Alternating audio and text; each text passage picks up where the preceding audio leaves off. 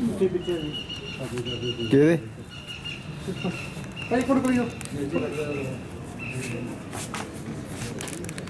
ये वो बड़ा है बड़ा बनाया है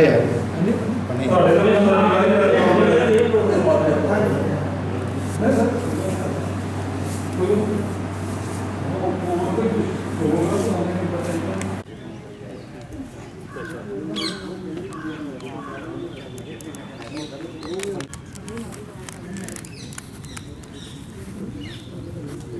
ఎక్కడ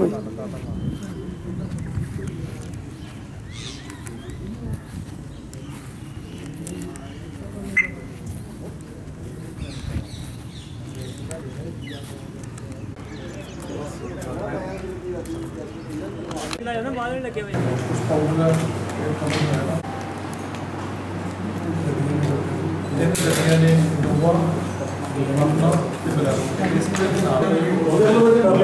ਬਲੈਰੋ ਇਸ ਦੇ ਨਾਲ